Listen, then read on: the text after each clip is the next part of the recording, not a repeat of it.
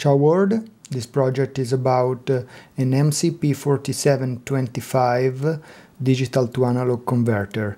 It is this chip you can find it here. It is a 12-bit uh, buffered output converter and uh, it is it has a single channel and uh, embedded EEPROM to store uh, uh, output values.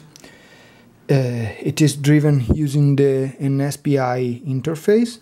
The SPI library I use to drive this is uh, the one with of Peter Fleury. Uh, the microcontroller for test is uh, on uh, for testing this chip is an ATmega 8 running at 8 megahertz.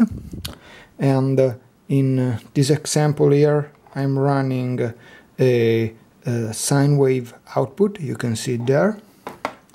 But I can also run another example I am uploading it right now. And it's a, a volt volt output example. You can see the voltage output uh, here.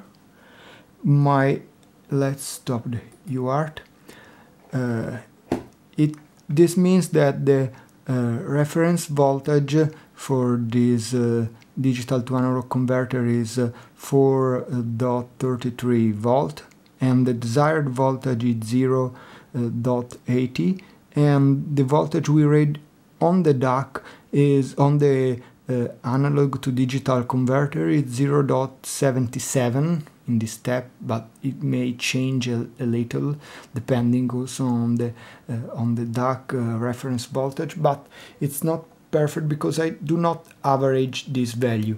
This one here has better value and as you can see it's just a few millivolt distant from the desired voltage of 0.800 volt and uh, it's all.